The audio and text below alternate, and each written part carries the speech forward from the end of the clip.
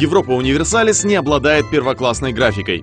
Здесь нет умопомрачительных спецэффектов или запоминающихся кат-сцен. Тем не менее, эту игру искренне любят.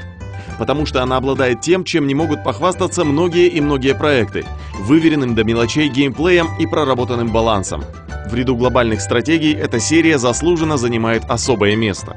И хотя для видеообзора здесь слишком статичная картинка, мы не могли обойти стороной недавнее дополнение Air to the Throne – это четвертый по счету аддон, но он по праву может считаться одним из наиболее интересных. В первую очередь благодаря качественным изменениям игрового процесса. Остановимся на самом заметном и интересном. Главным нововведением, пожалуй, стала система Казус Белли – формальных поводов для объявления войны. Любое столкновение стало осмысленным, с четко поставленными целями. Послать войска, выбить крымского хана с изюмского шляха. Причем некоторые войны затеваются не столько ради новых территорий, сколько ради утраченных привилегий и денежных контрибуций. Самое приятное, что казус Белли позволяет избежать негативных последствий, вроде дурной репутации или сильного падения стабильности. А при выполнении поставленных задач можно получить заметную прибавку к престижу. Стоит отметить, что уважение возрастает не только в глазах других стран, но и собственного народа. Теперь мало просто быть правителем, надо еще и помнить о легитимности. Непопулярная политика, поражение в битвах, дипломатические провалы серьезно отзовутся на судьбе государя. Рано или поздно народные массы начнут бурлить, и трон может оказаться в чужих руках. Войско взбунтовалось! Говорят, царь не настоящий! Даже самая древняя династия может прерваться. К слову, происхождение монарха перестало быть малозначительной информацией. Родственные правители обладают хорошими отношениями и охотнее помогают друг другу. При грамотной стратегии, без излишнего кровопролития, можно добиться больших успехов на мировой арене. Предусмотрены и различные династические события. Добавлена также система наследников, известно имя, возраст и уровень притязаний отпрыска. Не составляет никакого труда просчитать, сколько продлится регенство или, например, будут ли проблемы с передачей трона. Если у наследника слабое притязание на власть, то лучше обойтись без династических браков с более сильными государствами, да заранее позаботиться о сытости народа и боеспособности армии. Не стоит забывать и о региональной политике, которая стала более гибкой.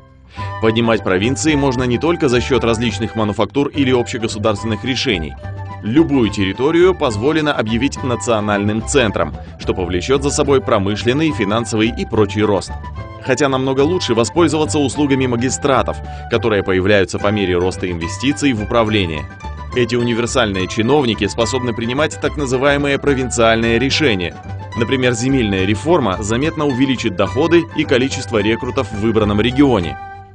Магистратов можно потратить на постройку нового дворца или проведение фестиваля. Все это скажется на очках культуры, за которые можно приобрести более опытных советников – да ты что, сукин сын, самозванец казенной земли разбазариваешь? Так никаких властей не напасешься. Это нововведение аналогично военным и морским традициям. Радует, что можно выбрать именно того помощника, который необходим в данный момент. Военный инженер легко усилит защиту крепостей, а ушлый банкир выбьет привлекательные проценты по займу. Другим заметным новшеством стали сферы влияния, призванные передать дух большой политики. Каждая страна имеет область собственных интересов и вроде как может влиять на данную территорию. К сожалению, идея выглядит интересной, но недоработанной. Не хватает инструментов вмешательства и контроля. С торговыми лигами дело обстоит лучше. Страны, не имеющие своих торговых центров, действительно получают преимущество. Купцы одной лиги не разоряют друг друга, да и передача эксклюзивных прав на товары оправдана.